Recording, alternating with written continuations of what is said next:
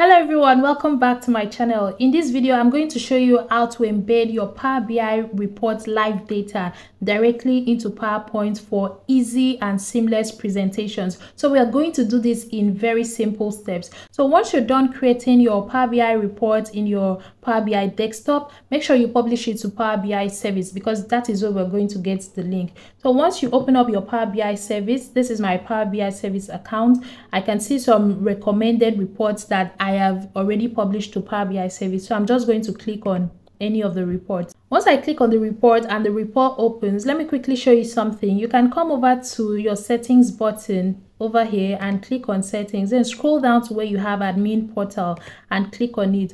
Under the admin portal in the tenant settings you can scroll down to where you have export and sharing settings.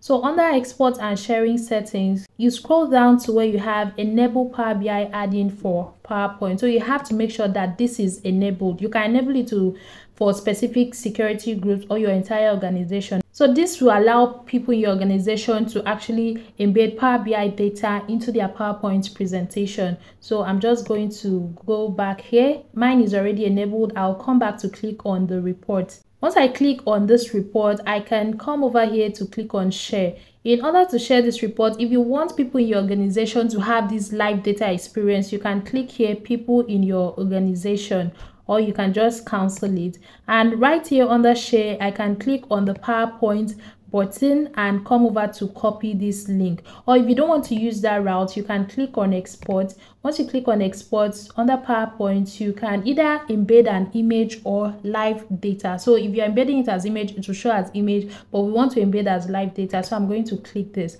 once i click on live data i'm going to click here to copy this link so we've copied this link right now i'm going over to my powerpoint desktop application so right here in the PowerPoint desktop application, I'm going to click on Home tab.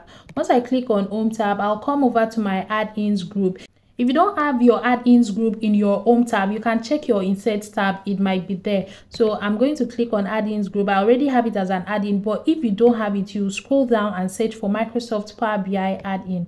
So I'm just going to enable this add-in right now. So once this add-in is enabled, you can see the report page showing here. So I'm going to paste the URL I copied, the link to that particular report. Then I'll click on insert. Once I click on insert, you can see that the entire report page has been embedded right here in my PowerPoint presentation. So I can, including with all the filters in this particular report. So I can go to the next page in this report.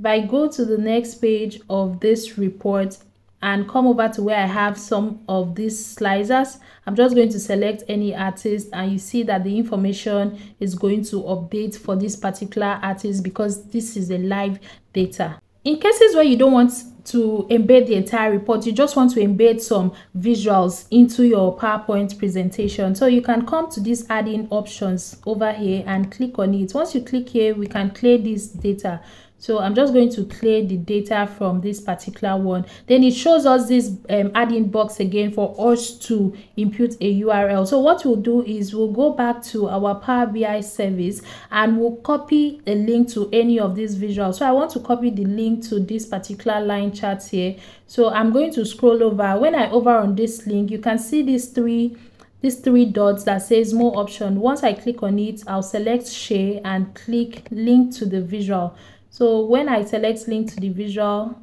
I'm just going to copy this link. After copying the link, we'll go over to our PowerPoint desktop application. Then right here, I'm going to paste the URL to that particular visual. Then I'll click insert. Once I click insert, this visual has been embedded here with its live data. So you can see it came with all the drill buttons that I had. So if I turn the drill mode for this particular visual this is the drill up. I can drill up to see information for the years and i can also drill down to see information for the months. Then i can turn off the drill button. Then right on this visual you can see over here this is the data information. It's just telling me the name of the data and the dates which it was last updated. So if you want to generate data insights from this particular visual you come over to where you have data options and select it. Then you select data insight once you select data insights it's going to generate insights for this particular visual for you.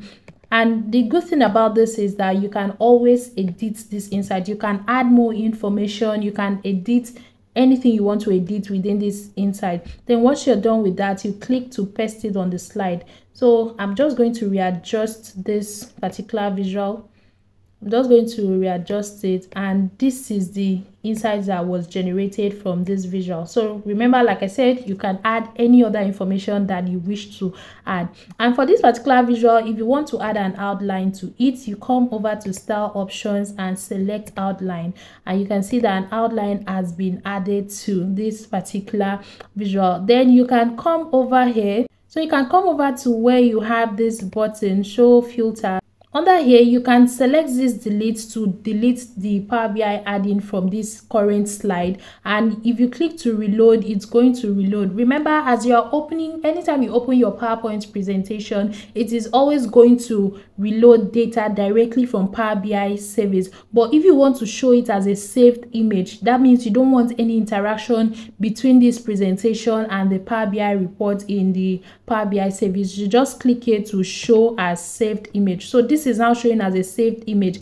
So after clicking that button to show as a saved image, I cannot interact with this particular report again. So you can see that all the buttons are off because I can't interact with it again. So if you want to show it back as a live data, you just come back to this particular button and select, just click back on that show as saved image once you click that button it's just going to return it to how it was. It's just going to return it to the live data. Of course you can see all the filters are here. We can go ahead and do anything you want to do within your powerpoint presentation. And note that this particular pane here this particular pane is only available for your powerpoint desktop application. It's not available for powerpoint for the web okay? So you can go ahead and try this feature in your next presentation to your stakeholders to your team members or even to your client and let me know what you think about this feature in the comment section. Thank you so much